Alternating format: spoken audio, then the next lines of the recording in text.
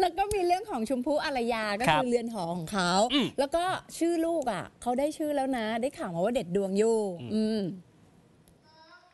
ที่คุณแม่ลูกแฝดชายชมพู่อารยา อุ้มท้อง 7 เดือนออกงานอีเวนต์ครั้งสุดท้าย พร้อมเผยว่าหลังจากนี้คุณแม่สะดวกรับแค่งานพิธีกร รายการทีวี และเคลียร์งานโฆษณาที่เหลืออยู่ เพื่อเตรียมตัวคลอดเบบีในเดือนกันยายนนี้ค่ะ ส่วนลูกแฝดของแม่ชมจะชื่อน้องสายฟ้าและพายุ เหมือนที่คุณสามีน็อตวิสรุตติดแฮชแท็ก Thunder and Storm หรือเปล่า คุณแม่คนสวยบอกขอประกาศทั้งชื่อเล่นและชื่อจริงทีเดียวในวันคลอดเลยนะจ๊ะ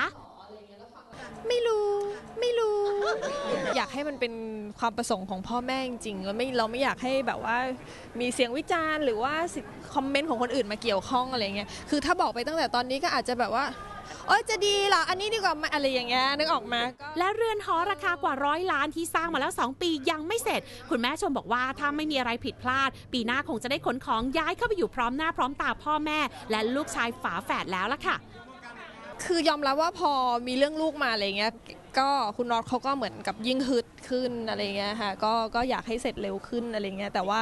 ชมแบบไม่ยุ่งอะชมไม่แตะเลยอะไรเงี้ยตอนนี้ตอนอยู่อยู่ที่หลังนี้ก็ยังแบบไม่อยากแบบวู่วามอะไรมากทำอะไรก็ทำเป็นลักษณะที่ว่าอะชั่วคราวอะไรเงี้ย